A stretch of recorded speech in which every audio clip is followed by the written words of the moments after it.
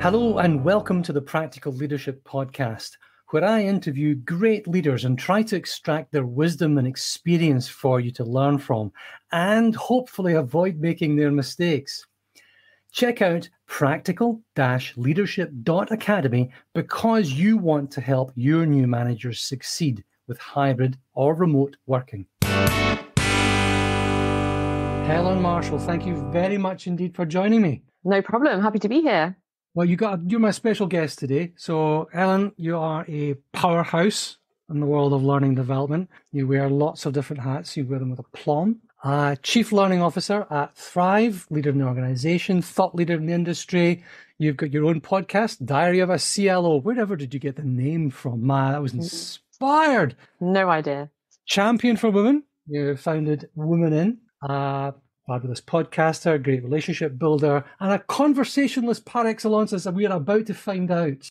I, I, hope so. Anyway, yeah. Thank you for that introduction, Paul. It's um, yeah, you're you're right. I do wear many hats, and um, I think I'm in quite a privileged position as CLO of Thrive to be able to to to do projects that I, I suppose are passion projects for me, but that are having an impact on the wider community as well as the work that we do at Thrive. So yeah, in a very fortunate position, and um, I think particularly as you just said, Diary of a CLO has has been a bit of a new venture this year. We're seeing huge success with that, and the Women In platform has been a, a real um, a breath of fresh air for me, bringing women together uh, within the L and D space at the moment. So lots of good stuff going on. Oh, fabulous. We can get to the Women In thing. I want to dig into that a little bit. It'd be quite interesting to to hear more about it. But um, this is this is my pod. And I try to point people towards wisdom that we try and extract from wise people. And wisdom, I think uh, I like to define it as the combination of knowledge plus experience plus reflection equals wisdom. So we try and pull that out of people's heads, specifically for folk who are earlier on in their management and their leadership career. So I think my first question definitely has to be how when did you first take on the reins of becoming a people leader? Yeah, it's an interesting one because I think I I feel like I've always had quite a natural affinity for leadership. So whether that was um, I, would even go as far back as primary school, definitely in secondary school. I was always kind of a leader within the groups I, I was part of, whether that was um, socially in my friendship groups or whether that was in uh, sporting teams. So I was uh, sport was a huge part of my life growing up, and um, and I think you know it, it te- definitely teaches you a lot about uh, teamwork, particularly when you're doing team sports. So um, I think within shifting that into kind of a working environment, I'd always set my sights on people management as part of what I did and, and was, it felt like quite a natural next step for me con- consistently within the businesses I was working towards. So it was always kind of an aim of mine to manage a team. And I think there's also potentially a certain um, emphasis that people put on the next step being a, a, team lead or a, or a people manager or then senior leadership. And it, it's almost like a natural progression. But actually, I think that that is potentially shifting in, in today's working world. And um, it, it maybe not necessarily what, um, you know, it's not as straight a line for people anymore. Um, but it was always the next step for me. It's always something I wanted to do. And I think I had a natural affinity for it because I'm, I'm naturally empathetic and I'm trustworthy and I, I tend to build good relationships and I'm reliable. So I think those qualities are really important for leadership. Um, and so I, I ended, I did, I have ended up managing teams and I, I got a lot out of it personally, uh, because I was helping people, p- particularly because I was helping people's, um, professional development and able to, uh, was able to help them see where they wanted to get to and how they would get there. And I, and I did get a real joy out of doing that. I think now I'm in, in the role that I am in. Um, I'm not I'm not directly line managing people, but I'm sort of a dotted line for several people within the business. So um, I'm helping to again to guide them and, and talk about the the impact that they're having within a business. So I guess a slightly different trajectory, but um, it was always something that I felt quite passionate about and I knew that I wanted to do, and it did bring me joy when I was managing people as well. That's the gig, I think. You just nailed it right mm. there. It brings you joy. It brings you joy. I think unless the, the, the, the, definition, the, the checklist definition is, I want to be a, I want to be a manager next. I've got to be a manager now. Uh, why? because that's the next thing that's on my list. Mm, no good reason. No, unless it brings you joy, as you say. And I'm all about bringing joy. I'm, I'm, I'm digging into bringing joy. I'm bringing into lacking regrets these days. So I'm, I'm thinking about these things quite a lot. If unless it brings you joy, just don't do it if you can avoid it. You know, I don't, mean I don't mean avoid all the hard stuff because they don't bring you joy.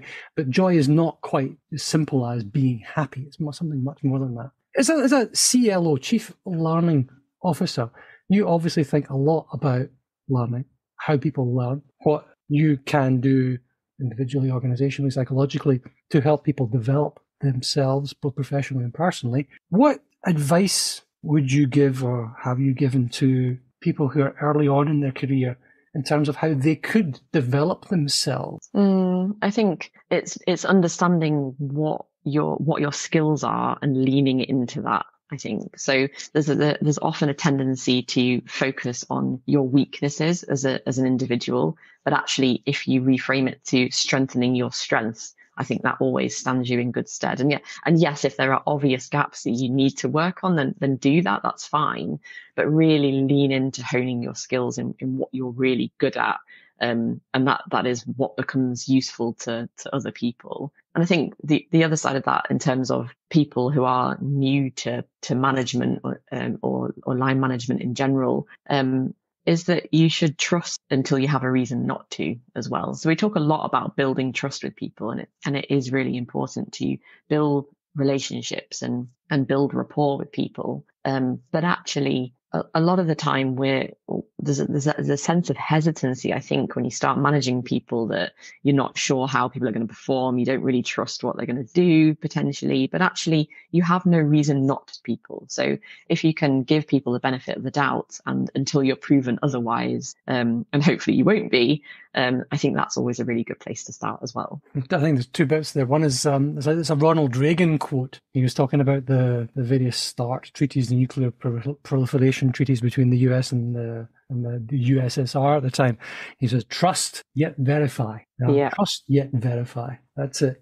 I like that. Trust until you have a reason not. That's pretty good, actually. Um, you see, you were saying strengthen your strengths, leaning into your skills there. Again, I, I really like to take advantage of you being the developer part extraordinaire, both somebody who's done it and thought about it deeply, because that's that reflection part of the wisdom triumvirate there. Um, what is there a particular how to lean into your skills? Is there a particular way of identifying, building on that? What, what would you say to somebody who says, okay, I think I'm pretty good at this. I'm not too toxic at these things. What do I do next, Helen? Well, I think being in the position where you have taken the time to self reflect, and obviously reflection is very important, like you've just alluded to, and and being able to recognize what your own strengths are is uh, is amazing but actually a lot of people do struggle with with understanding what their strengths are. So if you can uh, lean into mentors within your business or even outside of it, um, and whether that's in a friendship group or whether it is someone in a professional capacity, to help you identify, you know, what am I actually really good at? Um, and and yes, it becomes a conversation then around, well, yeah, actually, I do think I'm really good at, at building trust, for example, or um, or um, dealing with confrontation, whatever that looks like. Um, but I think it, it, it there's a, that element of conversation to go with it, and, and whether that's mentorship or whether it's in a coaching situation, but but relying on those around you to verify what you're thinking.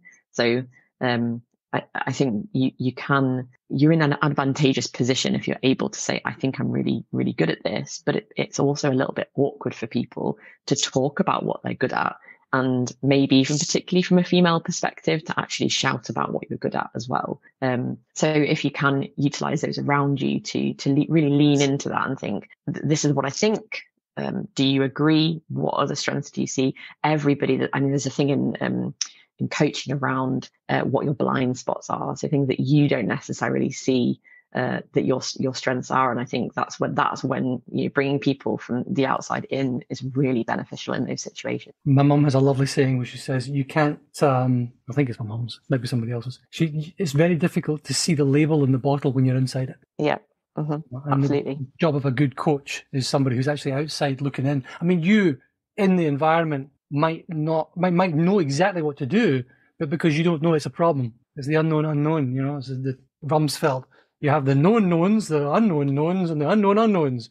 And yeah, you do. I, I was at an event yesterday, just yesterday evening, and it was a exec thing. There was maybe 10 or 15 of us, um, not quite 50 50 women, men, but it went round and it was an intro, you know, who does what, what you do, what you're on about, what's what's your challenge. And then the last thing was to in order to help this this collective environment was, and what should people come to you for? What are you really good at that people can come for you come to you for? And just as you said, most of the bloke said, uh, well, I've got a lot of experience in sales, really. I've got a lot of experience in SDRs. I've got a lot of experience in partnerships, in international expansion, this, that, the other. And I think four out of the five women were oh, well, I wouldn't call myself an expert. I'm thinking, I would. Mm. You're bloody brilliant. I'd give my teeth to have half of your experience, wisdom, and reflection. And it's like, oh, oh, but jeez. Yeah, I think I think it's something. I mean, historically, I mean, for me personally, growing up, it was always seen as um, a bad thing to share about how well you were doing at something. Yeah, and it, and you just you just weren't encouraged to do it. Um, whereas, you know, and maybe maybe men weren't actively encouraged to do it, but there was no kind of uh, bad taste around them actually doing it when they did, and that's a really hard. Yeah, yeah, exactly, and it, it's a really hard thought process to get yourself out of, um, and it takes a lot of work and a lot of commitment to say actually stand up and say yeah i am actually the expert in here. There's always the the thing in the back of your mind is and i think this is healthy to think is that there's someone who is always going to know more than you.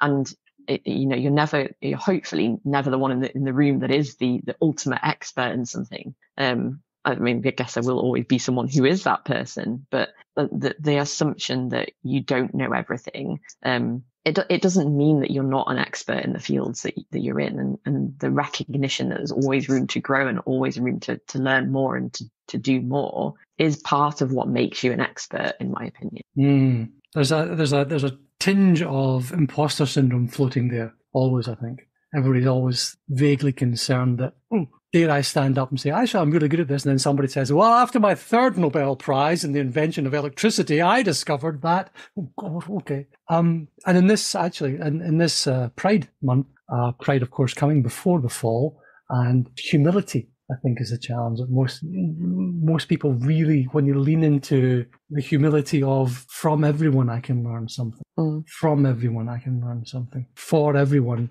uh, I have something that I can take away. Every conversation, every person on earth is better at something than I am. Doesn't mean that I'm not an expert. Doesn't mean that I don't have greatness under my fingernails somewhere if I look really closely. But it's the humility to actually recognize that you can learn something from your, your taxi driver, from your postman, from everybody around you. Yeah. Mm. So learning. Um, what did you learn? What was there an event or mistake from which you learned the most? Oh, so many. I imagine I could answer this. Let's, in, start in, alphabetically then. Anyway, yeah, I've got a long list. Um, you know, actually, the thing that always sticks out in my mind is a situation where I chose the wrong time and place to give feedback to somebody, um, and that had that the one time where I, I did it wrong and didn't do it in the right situation, didn't approach it in the right way, completely changed the way that I do it now and, and have done it since. So even though it was not a great experience at the time, it, it actually taught me so much about the way to handle situations like that in the future. So um, just to delve into that a little more deeply, I was part. I, I was running a, a, a, team meeting, and one of I'd asked one of my team to present on a certain topic, and they were doing it, and they weren't doing a great job. Um, and I provided feedback there and then in the meeting that you know it hadn't quite met expectation, and why had they chosen to do this instead of that, and um, like looking, like I just talking about it now, I can't even believe I did it uh, in that environment in front of everyone else, in front of the other teammates. And the, the reason I did it at the time was I, and it's still important, is giving feedback in the right, uh, at the right time in a timely way. Sorry, not at the right time, in a, in a timely way is really important. And I thought it's better for me to call this out now in front of everyone so that they realize, you know, that it's not quite right and, and what they're saying isn't quite right. And the team members don't take that message away because it's not the one that I want them to leave with. But actually, it actually really damaged the, the the environment in that meeting. Everyone felt very deflated afterwards, and obviously the person I gave feedback to was very upset. And and what I should have done is wait until after the meeting and saying this out loud it's it all seems very common sense but to take them to one side and to say to say you know this didn't quite go to plan why do you think it didn't quite go to plan and be more of a coach in that situation to to coach it out of them because they knew it wasn't quite right as well um and so you know co- context and and timeliness with feedback is is king but you can be too soon with feedback as well, which I guess was the lesson there. Totally challenging that, isn't it?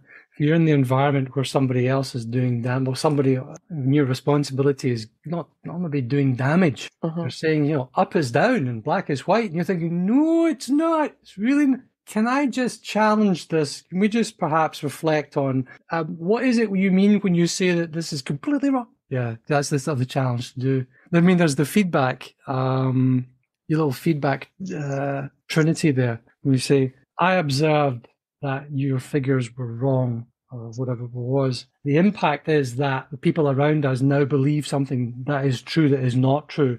And then the thing that I love just saying is, help me understand. And then you mm. shut the hell up and let them talk. Help me understand. And then they can string themselves as high as you like with as much rope as you're going to give them. You know? Yes, no, I've, I've been with you. I mean, I've left this trail of destruction behind me all these people I've, I've experimented on unknowingly over the years of being a dreadful, dreadful, dreadful manager. I, I, I pulled this guy up middle of the open area and said, well, "That was a rotten phone call. Why did you do that to that customer?" And the guy was like, "What?" I think we would end up arguing. Team of fifteen people listening into this, and I was just I thought I was doing the right thing, but surprisingly enough, no, it wasn't. Anyway, yeah, I, I think he didn't last very long either. I think if you if you're having the um, the insight to know that something hasn't quite gone the way you expected it to. Um, I feel like even though it, it as a result of a, a, badly handled situation, if you have that insight to say, actually, that that doesn't feel right. I don't think I did a great job there. That actually makes you a really good manager to be able to to to say, hands up, not handled that in the right way. This is what I'm going to do about it. And and I think that's the difference. That some people don't even know that what they're doing is damaging to people and they continue to do it. Totally, totally. See it with kids, actually. Mm. See it with kids. I mean, uh, I, was, I was talking about my talking to my nine year old fairly recently, and I said, "You know that I've never been a dad before, right?" And he went, "What do you mean?" Because he just thinks that's all I do. So "I've never been a dad before." Huh? Oh, well, you the first time. Okay, he's a bigger sister, but you're the first time I've done this, so I don't know what I'm doing. So, see, when we did that and that and that, and I said this, I'm a bit sorry about that because, well, I have no clue what I'm doing. Really? Okay. And just as you said, it's it kind of it, makes it more warm, open, acceptable, human. It's like okay, we're actually in this together. Mm-hmm. You know, there's there's a there's something about that. There's a better connection. Yeah, and, say, and saying sorry um, to oh. children is a really powerful thing to do um, because they, you know, they then they are very empathetic back in that situation. You never hear. Um, yeah, yeah. And it, yeah, they don't. They definitely don't hear it enough. Say sorry to Kenneth for beating him on the head with a brick. Sorry, Kenneth. Would you do it again? Totally would. I mean, no, I wouldn't do it again. You know, when I grown up, yeah, well, when, I, when a grown up says it, I suppose it means more. Yeah. All right. Talk to me a little bit more about Women In. What's this all about? What are you working on? Yeah, so um, Women In is a is a platform to connect women from I, I, would say all sectors, but we're primarily learning and development at the moment with a few HR professionals and a few freelancers and consultants thrown in there as well. Um, and it really arose from conversations that I was having with people, again, mainly from across the L&D space, um, and particularly within small teams that that weren't that were really feeling like they they didn't have any anyone to bounce ideas off to get out the echo chambers of the organizations that they were part of and, and be part of a wider community. And i and i had started to notice that i was hearing this more consistently from people. And i thought there's you know there's something that that needs to be done here. So i kind of I, I had put off getting a group together because I I have a tendency to want something to be perfect before I release it into the world. Um, so I'd been waiting and biding my time, and then I thought, actually, no, I'm just going to have to do something. So I set up a WhatsApp group, um, and we've now got about I think 250 members um, of the group who just want to be part of this connection and community, and and really share in a safe space ideas or activities or challenges that they're having within their organizations um, or within the wider um, industry as well. So we set up the WhatsApp group, it, it, constant chat. Um, I mean, today we've been on the group, we've been sharing about um, icebreakers for meetings and like what everyone does. And that's just one example of a, of a chain of conversations that, that will, that will probably happen over the rest of the day. Um, but we're also hosting we have a platform that is that is powered by thrive but it's a, it's an events platform. So we run monthly events through the platform that our members can act based on topics that are popular in the conversations that we're having on the whatsapp group. So um, we've seen things like being human at work. Um, i think we've got coaching coming up. We've got um, i think we've done one on fighting the imposter. Um, so things that are things, things that are quite pertinent to what we're experiencing and what some of the challenges are. Um, and those will those will continue as, as the group kind of evolves. But we've got plans to expand beyond L and D. It's just obviously that's where my main network is, so that's be what's happened. We're seeing a lot of freelancers wanting that connection as well, which makes sense. People working in silo need that connection. But we're also seeing a lot of ex-teachers who are wanting to actually transition from teaching into and into L and D because of the challenges a lot of the time that are associated with education at the moment. So um, yeah, really interesting group to be part of really valuable people. And I know that like the real uh, drive for me is that the people that are part of the community have made connections that have impacted the work that they're doing. So whether that's through just bringing fresh perspectives into what they're doing or through contracts that they're signing with, so people have actually got gained work through the group. So it's having a real kind of tangible impact on the people that are part of it, which is, you know, like again, it's, it's something that brings me real joy. So I can't wait to see how it continues to evolve over the coming months and year. Well, excellent. Congratulations for doing something about something rather than just whinging. You know, actually you've gone out and done it. And the fact that people are getting work out of it, that's even better. That's brilliant. Yeah. There was a couple of scary statistics I, I came across, and it was, in, it was in the US that 43% of people have no best friend at all. No best friend. Mm. 13% of people said that they have no friends. Teen no friends. So this whole you talking about building community here, I think increasingly community, partnership, getting together. Yes, Zoom, AI, virtual, who gives a whatever, but actual human connection can underrate it. Yeah, absolutely. Yeah, it's just just too powerful. Okay, what are you reading? What what is the knowledge that you are trying to gather? What you're listening to? What your podcast library looking like? I have a I hmm. have a long a long list of well, actually, you know what? I've got a large stack of books by my bed that I just keep buying and then never finding the time to read. Um, I'm terrible. Sunduko. Sunduko. Do you know the word? Sunduko. No, I've not heard that. It's a Japanese word that defy that is that is made for you and me which is basically the pile of unread books. That's what sunduko is. There's a word for that now. Oh, that's good. Jap- Jap- Japanese uh, culture tends to have a, w- a word for all these things that, that we don't have in English language. It's it's lovely. Um, but yes, that, that is also me.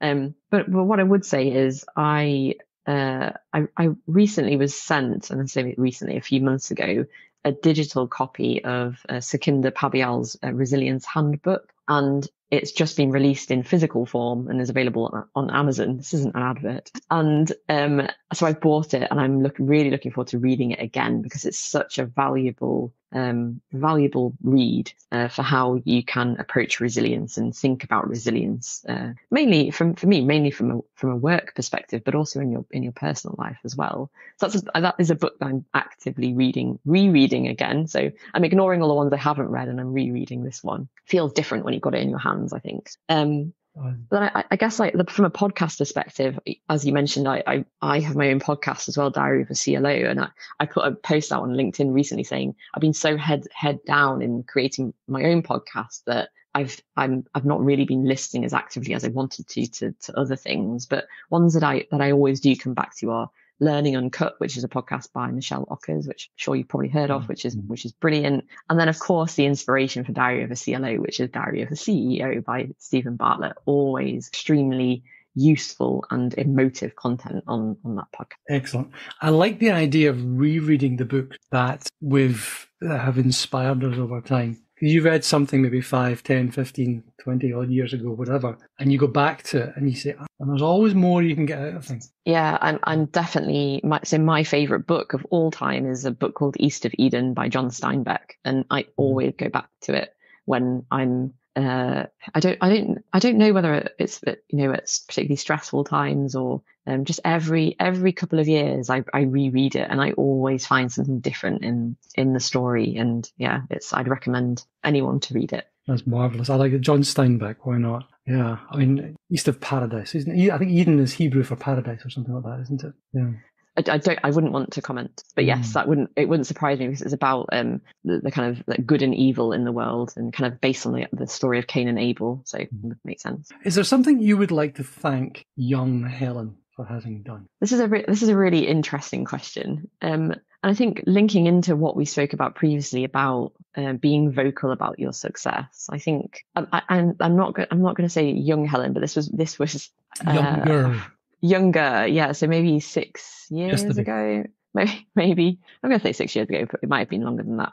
Um, but working in my first fully remote role, so I'd never worked remotely before, and then this was pre-COVID as well. Um, and I suddenly found myself in an environment where nobody knew who I was, nobody really knew what work I was doing except for the immediate team I was working with. Um, and it was really difficult to to build those connections and build those relationships with people. And i felt really uncomfortable again coming back to what we spoke about previously actually saying you know look everyone i've, I've done this great piece of work and it's going to have an impact on xyz and so i had to really push myself out of my comfort zone to say here it is like this is what i'm doing that you know take a look um, i'll chat to you about it whatever that looked like. And um, I, and I really genuinely think that taking the time to do that and for, to to then therefore build connections with people in the rest of the business and to build visibility as well has really helped shape to, me to get to where I am today. So I don't think if I'd been been able to